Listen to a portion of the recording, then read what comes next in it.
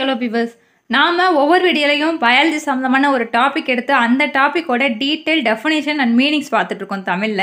அந்த வகையில் நம்ம இதுக்கு முன்னாடி அனிமல் கிங்டம் அப்படிங்கிற லெசனை கவர் பண்ணி ஃபுல்லாமே முடிச்சிட்டோம். வீடியோ வந்து நம்ம சேனலில் இருக்குது வேணும்னா அப்படின்னா நீங்கள் செக் பண்ணி பார்த்துக்குங்க. இன்றைக்கி நம்ம நியூட்ரிஷன் அண்ட் ஹெல்த் அப்படிங்கிற டாபிக் பார்க்க போகிறோம் வாங்க வீடியோக்குள்ளே போகலாம் ஃபஸ்ட்டு இன்ட்ரோ கொடுத்துருக்காங்க. Introduction food is the basic necessity of life food வந்து ஒரு அடிப்படை தேவை நம்ம வாழ்க்கைக்கு. Food is defined as any substance of either plant or animal origin consumed to provide nutritional support for and organism அப்படின்னு சொல்லி அதாவது ஒவ்வொரு விலங்கினங்களுக்கு ஒவ்வொரு மனிதருக்கோ விலங்கினங்களுக்கோ ஃபுட்னா என்ன அப்படின்னா அது பிளான்ட்டாக இருக்கலாம் அல்லது அனிமலாக இருக்கலாம். அனிமல்ஸாக இருக்கலாம். அதோட மீட் ஓகேவா அதை எடுத்துக்கிறோம். எதுக்காண்டி நம்ம கன்சியூம் பண்ணிக்கிறோம் அப்படின்னா நியூட்ரிஷனல் சப்போர்ட் நமக்கு தேவை. அதுக்காண்டி நம்ம எடுத்துக்கிறோம். ஸோ இதை தான் நம்ம என்ன சொல்கிறோம் ஃபுட் அப்படின்னு சொல்கிறோம் ஓகேவா இட் கண்டைன்ஸ் எசென்சியல் நியூட்ரியன்ஸ் அது ப்ரொவைட் எனர்ஜி இது என்ன? தெரியும் நமக்கு உடலுக்கு அத்தியாவசிய தேவையான நியூட்ரியன்ஸனையும் எனர்ஜியையும் கொடுக்குது. Helps in normal growth and development அது மட்டும் இல்லாமல் நம்மளோட க்ரோத்துக்கும் வளர்ச்சிதை மாற்றத்துக்கும் ஒரு முக்கியமான அமைப்பாக ஃபுட் வந்து இருக்குது repair the worn out tissue and protect body from the disease disease அப்படின்னு சொல்கிறாங்க ஏன்னா நோய் கிருமிகள்லேருந்து வந்து நம்ம பாதுகாக்கவும் இறந்த செல்களை புதுப்பித்து கொள்ளவும் அல்லது வெளியில் அனுப்பவும் புது செல்களை புத்தாக்கம் செய்யவும் இந்த மாதிரி விஷயத்துங்கள்லாம் ஃபுட்ஸில் இருக்கிற நியூட்ரியன்ஸ் வந்து ரொம்ப முக்கியம் அப்படின்னு சொல்லியிருக்காங்க. Food contamination with micro organism is a major source of illness மிகப்பெரிய ஒரு இல்னஸ் என்ன முடியாமல் வர்றதுக்கான ரீசன் என்ன அப்படின்னா ஃபுட்டோட ஃபுட்டில் கெட்டு போயிருக்கிற மைக்ரோ ஆர்கானிசம் தான். கெட்டு போகிறதுக்கு காரணமாக இருக்கிற மைக்ரோ ஆர்கானிசம்ஸ் ஓகேவா in the form of infections or poisoning அது எப்படி இருக்குன்னா இன்ஃபெக்ஷனாகவும் பாய்சனிங்காகவும் இருக்குது food safety is become a major concern of this days நம்ம இந்த காலத்தில் இப்போ ரீசெண்ட் டேஸில் சவமா நிறையா ஃபுட் மெட்டீரியல்ஸ் வந்து சரியாக வந்து ப்ரிப்பேர் பண்ணாமல் ஸோ இன்ஃபெக்ஷன்ஸ் ஆகி அதை ஈட் பண்ணுறதுனால நமக்கும் நிறைய டிசீஸ் வருது. ஸோ அந்த மாதிரி என்ன சொல்லியிருக்காங்கன்னா இப்போ காமனாக இருக்க மேஜர் டேஸில் வந்து இதான் ரொம்ப ஒரு முக்கியமான ஃபுட் பாய்சனிங் இருக்குது அப்படின்னு சொல்கிறாங்க adulteration of food stuff is commonly practised in India by traders so வந்து என்ன சொல்கிறாங்கன்னா ட்ரேடர்ஸும் வந்து நிறையா ஃபுட் ஸ்டெப்ஸை வந்து நம்ம இந்தியாவில் தான் இன்ட்ரடியூஸ் பண்ணி பார்க்குறாங்க. Food is contaminated or adulterated from production to consumption for financial gain அதாவது ஃபுட்டை வந்து எதுக்கு எதுக்காக நமக்கு இந்த மாதிரி இன்ட்ரடியூஸ் பண்ணுறாங்க அப்படின்னு கேட்டோம்னா ஃபினான்சியல் கெயின் பண்ணுறதுக்காண்டி இந்த மாதிரி ஃபாரின் கண்ட்ரிஸ் அந்த மாதிரி கூட நம்ம எல்லாம் இன்வெஸ்ட் பண்ணி பார்க்குறாங்க. The normal physiological functions of the consumers are affected due to either addition of a deleterious substance or removal of vital component இந்த மாதிரி இருக்கிறது வந்து அதாவது எசென்சியலாக தேவையான நியூட்ரியன்ஸாக இருக்கட்டும் அல்லது வைட்டல் காம்பனண்ட்ஸ்லாம் இல்லாத இருக்கிற ஃபுட்டை நம்ம எடுத்துக்கனால நமக்கு தான் நம்மளோட ஹெல்த் வந்து பாதிக்கப்படுது. ஓகேவா food laws have come into the extents to maintain the quality of food produce in our country latest study about the term detail so இதுதான் நம்ம வந்து டீட்டெயிலாக பார்க்க போகிறோம் ஃபுட் லாஸ் கம்ஸ் அதாவது உணவு கட்டுப்பாட்டு அந்த மாதிரி நிறையா வந்து ஆர்கனைசேஷன் இருக்குது அதெல்லாம் வந்து கரெக்டான ஃபுட் குவாலிட்டியை மெயின்டைன் பண்ணதும். உணவு பாதுகாப்பு வளங்கள் துறை கரெக்ட் அந்த அந்த மாதிரியான ஆர்கனைசேஷன்லாம் என்ன செய்யணும்னா ஃபுட்டை வந்து கரெக்டாக கன்சர்ன் இதில் வந்து வழங்கணும் அப்படிங்கிற மாதிரி இந்த லாஸ்ட் இருக்குது அப்படின்னு சொல்கிறாங்க அதுக்கடுத்து டுவெண்ட்டி ஒன் பாயிண்ட் ஒனில் கிளாஸஸ் ஆஃப் நியூட்ரியன்ஸ் நியூட்ரியன்ஸில் என்னென்ன கிளாஸஸ் இருக்குது அப்படின்னு பார்க்கலாம். Nutrients classify into the following major groups என்னென்ன இருக்குன்னா carbohydrate protein fat vitamins and minerals ஓகேவா தீஸ் ஆர் தி நியூட்ரியன்ஸ் வந்து கிளாஸஸ் அதுக்கடுத்து நம்ம என்ன பார்க்க போகிறோம் கார்போஹைட்ரேட் பார்க்க போகிறோம் carbohydrate are organic compound composed of carbon hydrogen and oxygen இதில் என்னென்ன இருக்குது அப்படின்னு கேட்டிங்கன்னா carbon hydrogen and oxygen components இருக்குது carbohydrate is a essential nutrient which provide the chief source of energy to the body okay நம்ம பாடிக்கு இது தேவையான அளவுக்கு அதிகமான எனர்ஜியை கொடுக்கக்கூடிய ஒரு சோர்ஸ் என்ன அப்படின்னு கேட்டிங்கன்னா அது கார்போஹைட்ரேட் ஸோ அது எந்த ஃபார்மில் நம்ம எடுத்துக்கிறோம் அப்படின்னா எடுத்துக்கிட்ட கார்போஹைட்ரேட் எந்த ஃபார்மில் நம்ம உடம்புக்குள்ளே இருக்கும் அப்படின்னு கேட்டிங்கன்னா glucose sucrose lactose starch cellulose are example போகிறது கார்போஹைட்ரேட் இதெல்லாம் நம்ம உடம்புலேயே நமக்கு இருக்கும். ஸோ இதை தான் நம்ம கார்போஹைட்ரேட்னு சொல்கிறோம் இன்கேஸ் நம்ம வந்து ஒரு ரன்னிங் ரேஸ் அந்த மாதிரி போனோம்னா இன்ஸ்டன்ட்டாக நம்ம வந்து பாடி வந்து அதிகமான ஸ்வெட் ஆகி நமக்கே ரொம்ப டயர்டாகி ஒரு டீஹைட்ரேஷன் ஆகிடும் அந்த சமயத்தில் நம்ம இன்ஸ்டண்ட்டாக குளுக்கோஸை வாட்டரில் மிக்ஸ் பண்ணி கொடுப்போம். அந்த குளுக்கோஸுங்கிறது என்ன அப்படின்னு கேட்டிங்கன்னா கைண்ட் ஆஃப் கார்போஹைட்ரேட் அது வந்து இன்ஸ்டன்ட் எனர்ஜியை நம்ம உடம்புக்கு வந்து கொடுக்கும். ஓகேவா ஸோ இது வந்து பேசிக் உங்களுக்கு தெரிஞ்சுக்கிற கடை சொன்னேன். அதுக்கடுத்து carbohydrate are classified as monosaccharide வந்து glucose disaccharide sucrose and polysaccharide cellulose okay monosaccharide அப்படின்னா சிங்கிள் ஆட்டம்ஸ் அந்த மாதிரி இருக்கிறது அதை குளுக்கோஸ் சொல்கிறாங்க டைசாக்கரைட்னா ரெண்டு விதமான ஆட்டம்ஸ் இருக்குது சுக்ரோஸ் சொல்கிறாங்க ஸோ நிறையா இருக்கிறத நம்ம பாலிசாக்கரைட் நிறையா காபோ கார்போஹைட்ரேட் இருக்கிற மாலிகூல்ஸை வந்து பாலிசாக்கரைட் அப்படி சொல்கிறாங்க அது classification based on number of the sugar molecules சொன்னேன் இல்லையா? அந்த சுகர் மாலிகூல்ஸ் எத்தனை ப்ரெசென்ட் ஆகிருக்கோ அதை பொறுத்து சுக்ரோஸ் குளுக்கோஸ் பாலிசாக்கரைட் ஓகேவா அதை என்னென்ன? மோனோசாக்கரைட் டைசாக்கரைட் இந்த பாலிசாக்கரைட் சொல்கிறாங்க அதுக்கடுத்து நம்ம twenty one point one point டூவில் இருக்க ப்ரோட்டீன்ஸ் பற்றி பார்க்க போகிறோம் proteins are essential nutrients and also the building blocks of the body நம்ம உடலுக்கு தேவையான வளர்சிதை மாற்றத்திற்கு ஒரு முக்கியமான பங்கு இந்த ப்ரோட்டீன்ஸ் வந்து வகிக்குது. ப்ரோட்டீன்ஸ் தான் என்னென்னா புரதங்கள் okay the are essential for growth and repair the body cells and tissue நம்ம உடலில் செல் வளர்சிதை மாற்றம்னாலே அதுக்கு முக்கியமான காரணம் என்னென்னா செல் அணு திசு தான்.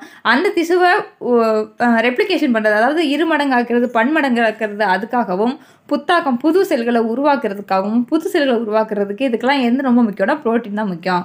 Proteins are made of amino acids so protein எதனால் ஆனதுன்னா அமினோ ஆசிட்ஸ்னால் ஆனது. இந்த அமினோ ஆசிட்ஸில் ரெண்டு வகை இருக்குது essential amino acids non essential amino acids இதெல்லாம் நீங்கள் ஹையர் கிளாஸில் படிப்பீங்க.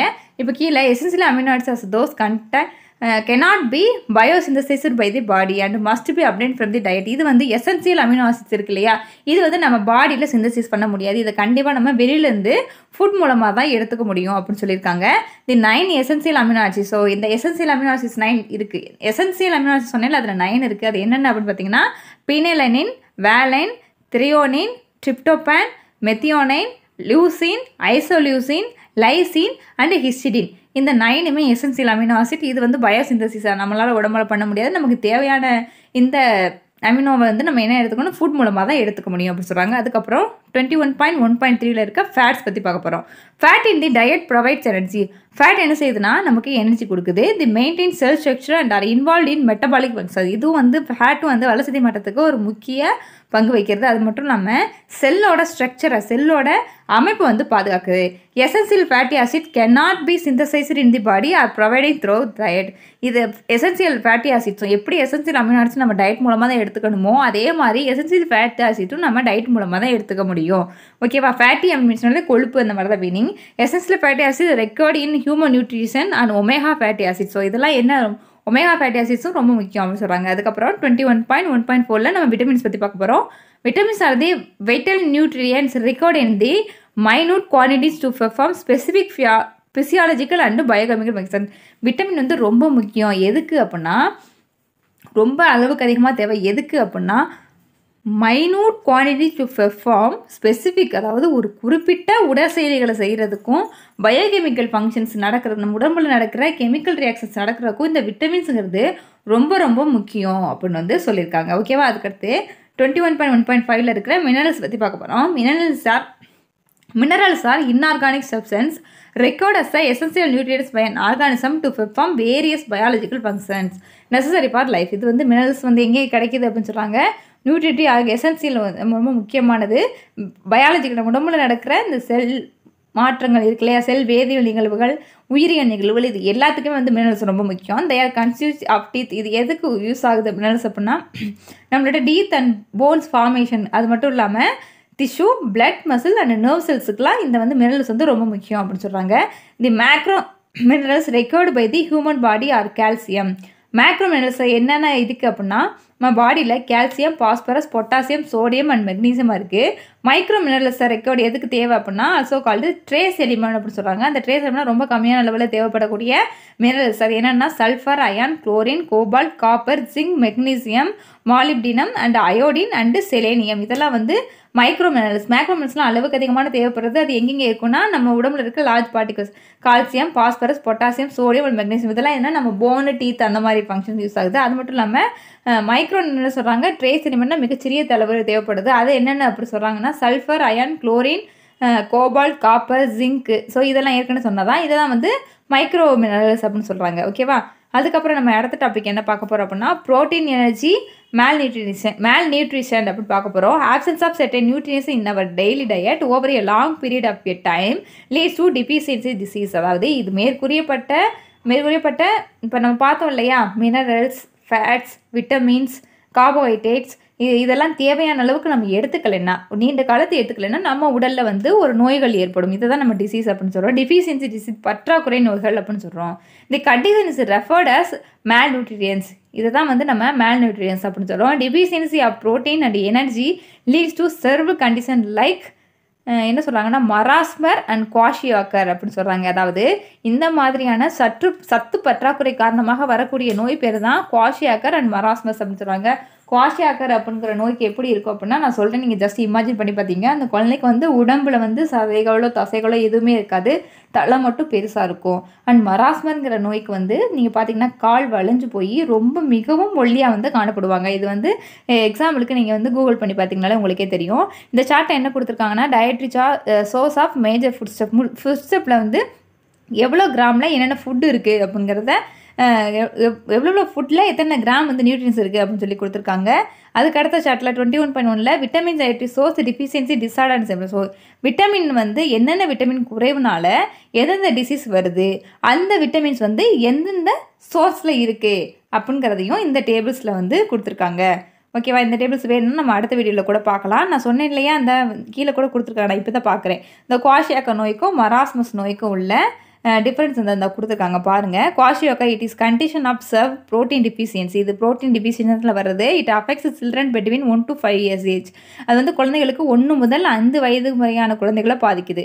Whose diet mainly consist of carbohydrate but lack and proteins அதாவது கார்போஹைட்ரேட் கரெக்டாக எடுத்துக்கிறனாலையும் ப்ரோட்டீன் எடுத்துக்காமல் வரனாலையும் இந்த குவாஷியாகார் அப்படிங்கிற நோய் வருது.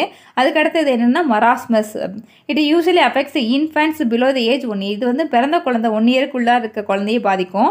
When the diet is over in carbohydrate fats நம்ம அந்த அந்த குழந்தையோட கிடைக்கக்கூடிய ஃபுட்டில் இருக்கிற கார்போஹைட்ரேட் இருக்கட்டும் ஃபேட்ஸாக இருக்கட்டும் ப்ரோட்டீன்ஸாக இருக்கட்டும் இது எல்லாமே ரொம்ப குறைவாக இருக்கனால இந்த மராஸ்மஸ் நோய்ங்கிறது ஏற்படுத்து இதெல்லாம் எதனால் ஏற்படுத்துனா மேல் நியூட்ரிஷன் சத்து பற்றாக்குறை உணவு உணவுப் பொருளில் இருக்கக்கூடிய அந்த மினரல்ஸ் விட்டமின்ஸ் கார்போஹைட்ரேட்ஸ் இந்த மாதிரியான நியூட்ரியன்ஸ் பற்றாக்குறையினால ஏற்படுது. ஓகேவா நம்ம அடுத்த வீடியோவில் ஃபுட் ஹைஜீன்னா என்ன அப்படின்னு டீட்டெயிலாக பார்ப்போம். இந்த வீடியோ வாட்ச் இது வரைக்கும் வாட்ச் பண்ணதுக்கு ரொம்ப நன்றி. மேலும் பயல் சம்பந்தமான நிறைய வீடியோஸ் நம்ம சேனலில் வரக்கு கீப் வாட்சிங் அஸ் அண்ட் தேங்க்ஸ் ஃபார் வாட்சிங் ஃப்ரெண்ட்ஸ்